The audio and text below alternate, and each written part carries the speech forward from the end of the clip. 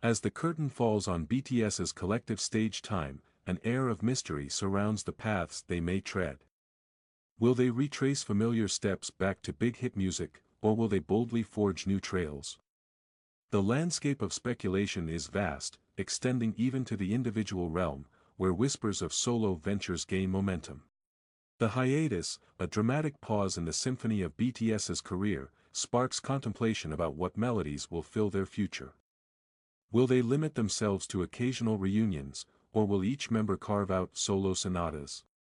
BTS, often hailed as the modern-day equivalent to the legendary Beatles, has etched their success into the global music narrative, leaving fans and pundits alike on the edge of their seats, eager to unravel the next stanza in their extraordinary journey.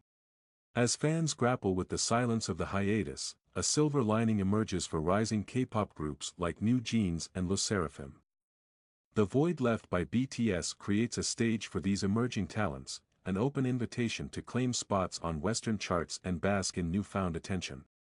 The uncertainty that shrouds a musical group's future during a hiatus is akin to a cliffhanger in a captivating novel.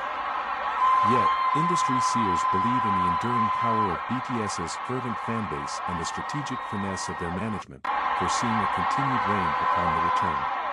In the intricate tapestry of the K-pop world, Jeff Benjamin, the maestro of K-pop commentary at Billboard magazine, underscores the importance of maintaining a steady rhythm during the hiatus. BTS's meticulous preparations, from songs to videos and heartfelt messages to the army, reflect a commitment to keeping the flame of connection alive.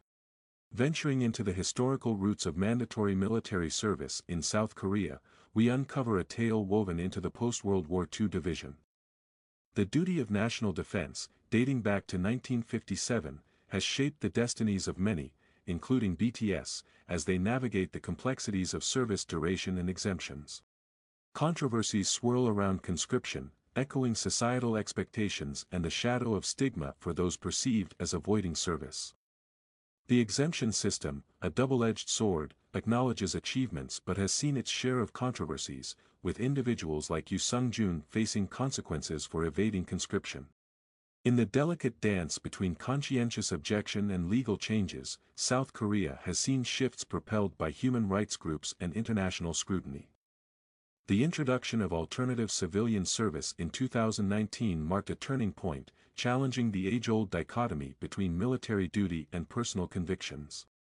As the spotlight shifts to BTS's future, wrapped in the cloak of mandatory military service, the broader K-pop landscape and the global music scene await their next move with bated breath.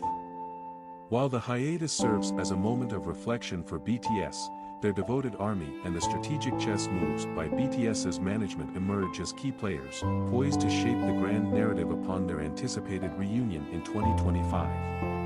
In the grand amphitheater of anticipation, the world becomes an audience, eagerly watching for the next act in BTS's extraordinary journey, a saga that continues to captivate hearts across the globe.